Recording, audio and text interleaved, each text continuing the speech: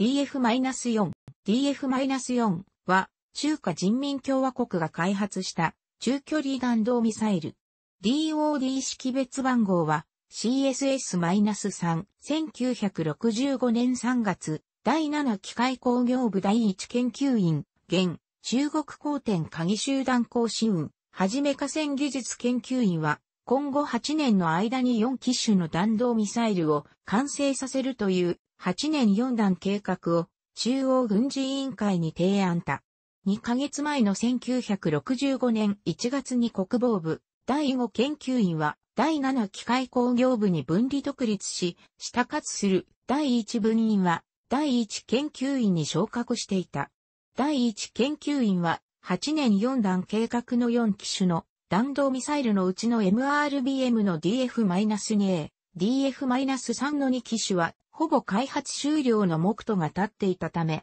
より長射程の IRBM、ICBM の完成に向け段階的な努力を傾注することとした。計画では最大射程 4000km 級の IRBM として DF-4 を最大射程 12000km 級の ICBM として DF-5 をそれぞれ1970年と1972年までに完成させることが明記されていた。DF-4 は B-52 戦略爆撃機の出撃基地となるグアム島航空基地を攻撃することを意図したものであり、DF-5 は中国北部から発射しアメリカ合衆国本土を射程に収めることを意図した弾道ミサイルである。DF-4 は計画では2段式ミサイルとし、1段目に DF-3 を利用することとした。2段目のエンジンは1段目のエンジンを基本として改良したものを1機使用することとした。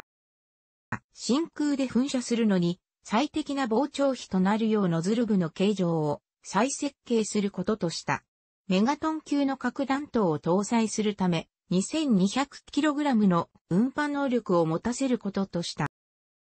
計画では DF-3 の核弾頭のうちの再突入用熱シールドを除いた核爆弾部とほぼ同じものを搭載することとした。大気圏再突入の速度が大きくなるため、再突入用熱シールドはより熱防護を強化したものに変更することとした。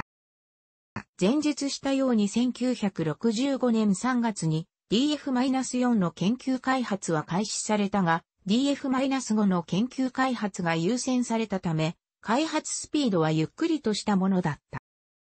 しかし、1969年3月に始まったウスリー川付近の中曽国境紛争のエスカレーションが同年9月にひとまず緩和されると、中央軍事委員会は DF-4 の開発を早めるよう指示した。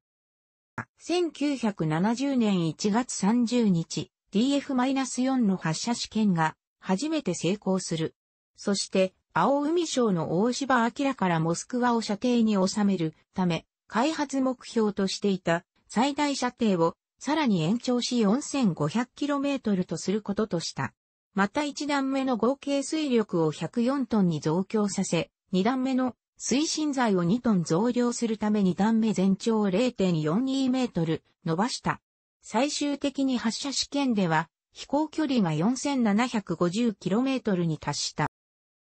全長は28.05メートル、直径は2.25メートルである。二段式、弾頭分離式のミサイルである。下場に4枚の上下方向に長い長方形の安定板を持つ。発射重量は 82,000kg である。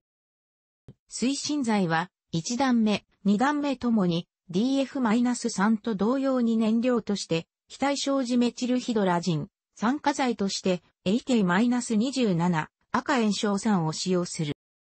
DF-3 を1段目として利用し、エンジンは DF-3 で使われた UF-2 を水力増強した改良型 UF-2A を4機使用しクラスター化している。UF-2A は4機合計で104トン海水面の水力を発生させる。2段目は1段目エンジン UF-2A のノズル部の膨張比を真空条件下に最適化させる再設計を行った UF-3 を1機使用する。UF-3 は真空中で32トンの水力を発生させる。DF-4 は単弾の 13MT 級の 2200kg の核弾頭を搭載する型しか存在しない。誘導方式はストラップダウン式完成広報装置を用いた完成誘導方式と採用している。ソーダ方式は推進用噴射のつる直後に配置したグラファイト製ベーンを用いたジェットベーン方式を採用ている。DF-4 は道路を運搬するには全長が大きすぎ、1段目と2段目を分離して運搬しなければならない。DF-4 に対し仮に路上移動発射式を採用した場合、発射前準備時間に組み立て時間がさらに加えられるとになり、生存性確保の点で好ましいものではなかった。このため当初は固定サイロ式の検討を行ったが、当時の中国の土木技術では難しく費用面でも実行性に乏しいため、横穴格納近接発射式、鉄道移動発射式、その他の陸上固定式、偽装建物格納式の実行性も検討を行った。1977年5月20日、中央軍事委員会と国務院は横穴格納近接発射式案の採用を決定した。1980年8月2日、横穴格納近接発射式でミサイルの最大射程発射試験を行い、運用上問題がないことを確認をした。横穴格納近接発射式は、山間部の配備を前提として、土木工事により、山体に横穴を掘りミサイル格納庫を建設する。発射時は、格納庫内で1段目と2段目がつながれ水平に寝かされた状態で機上台に通される。そして、機上台ごと横穴から引き出され、横穴のそばに設けられた発射台に垂直に起立させられる。その後の発射前準備作業は DF-3 の時と同様である。まず正確にアライメント、ミサイルの移動に伴う正確な自己位置とミサイル姿勢の情報の更新を行い、次にミサイル搭載装置の作動点検を行う。その後推進剤の注入を行い、最終的なアライメントの実施と搭載装置の確認をする。最後に、目標初元元データの入力をしてミサイルは発射される。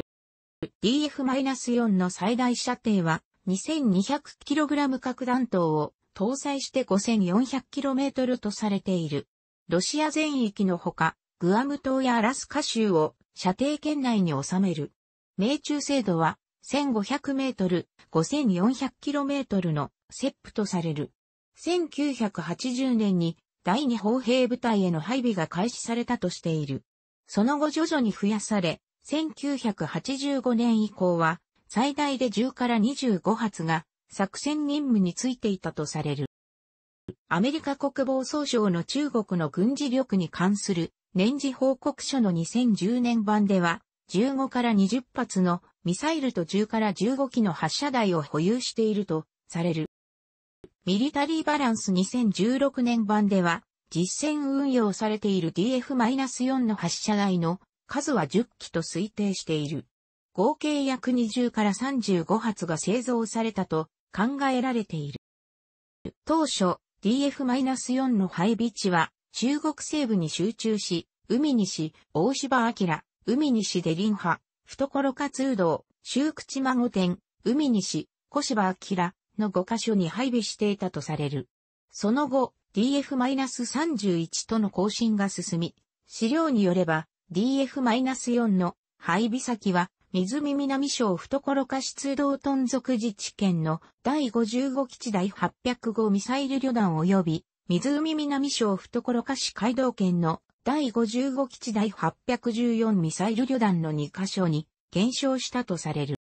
その後、資料によれば、懐下出動トン属自治県の第805ミサイル旅団は2008年に湖、南省、小明市に移転したとされる。同じくマークス・トークス氏らの資料によれば、第805ミサイル旅団は DF-4 から DF-31A に機種変更が行われたとしている。ミリタリーバランス2016年版によると、2015年末、現在、1個、ミサイル旅団に配備されているとしている。